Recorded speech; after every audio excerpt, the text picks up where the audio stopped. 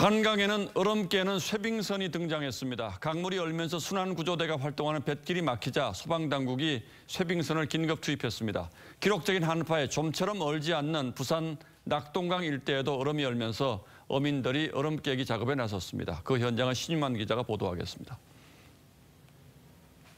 한강 동작대교 남단이 얼음으로 뒤덮였습니다.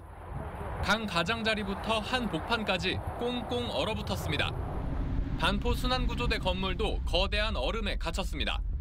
소방당국은 순환구조대 출동로까지 막히자 한강에 쇠빙선을 긴급 투입했습니다. 쇠빙선이 얼음을 부수며 달리자 얼음 조각이 사방으로 튀어나갑니다. 얼음 두께는 5cm가 넘습니다. 오늘 쇠빙 작업은 여의도에서 잠실대교까지 20여 킬로미터에 걸쳐 진행됐습니다.